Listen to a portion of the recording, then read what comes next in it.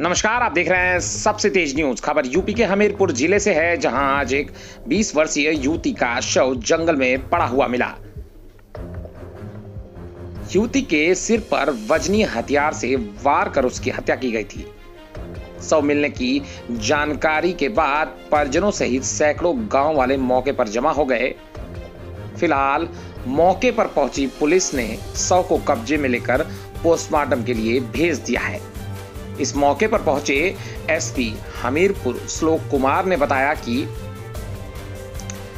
शव मिला है और कई परिजनों द्वारा कई लोगों के नाम बताए गए हैं, जिसके बाद पुलिस कई अहम सुराग इकट्ठा कर उनको भी हिरासत में लेकर पूछताछ कर रही है। घटना का जल्द ही खुलासा किया जाएगा।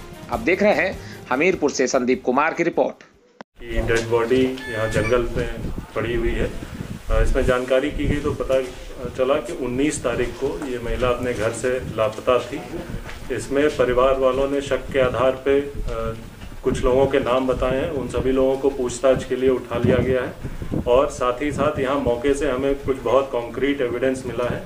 इन एविडेंस का परीक्षण करते हुए पूछताछ करते हुए घटना का अनावरण जल्द किया जाएगा। सर परिजनों का आरोप है कि लड़की के साथ में रेप कर घटना घटी है। देखिए रेप की अभी कोई ऐसी पुष्टि नहीं हुई है। बॉडी को पोस्टमार्टम के लिए भेजा जा रहा है उसके बाद ही इसमें कुछ कहा जा सकता है।